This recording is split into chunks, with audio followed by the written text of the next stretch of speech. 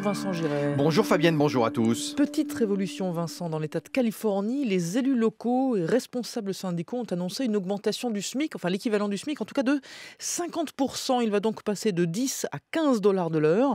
C'est un mouvement que pourraient suivre d'autres États.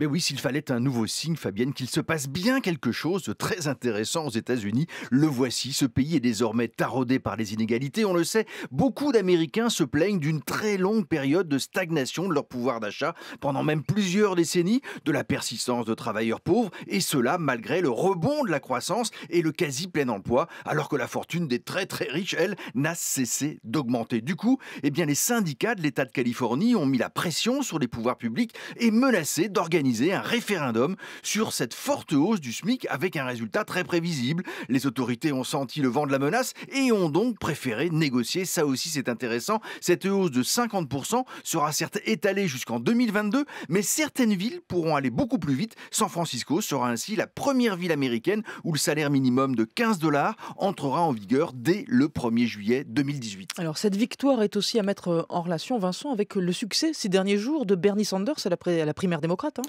Mais oui, Fabienne, parce que s'il est un candidat qui a vraiment fait campagne contre le scandale des inégalités, c'est le sénateur du Vermont, Bernie Sanders, le challenger d'Hillary Clinton. Peu avait parié sur la solidité de Sanders, 72 ans, qui se définit lui-même comme socialiste dans un pays où ce mot est a priori un véritable épouvantail. Mais Sanders est toujours dans la course, il est là et vient de remporter les trois derniers caucus de l'Alaska, d'Hawaï et de l'État de Washington. L'écart se resserre donc entre les deux postulants démocrates, même si Hillary Clinton conserve encore une belle longueur d'avance. Cette hausse sensible du SMIC, comme ces victoires de Sanders, s'explique par un mouvement de fond, Fabienne, qui monte depuis plusieurs années et annonce le retournement d'un grand cycle politico-économique. Le fond de l'air est tout d'un coup beaucoup plus favorable à l'intervention de l'État, qu'il soit local ou fédéral, pour corriger les excès, protéger les plus faibles, lutter contre la pauvreté, mieux réguler la finance, taxer les plus riches, bref, pour remettre un peu plus d'égalité et d'équité dans le système américain. Cette aspiration d'une partie importante de la population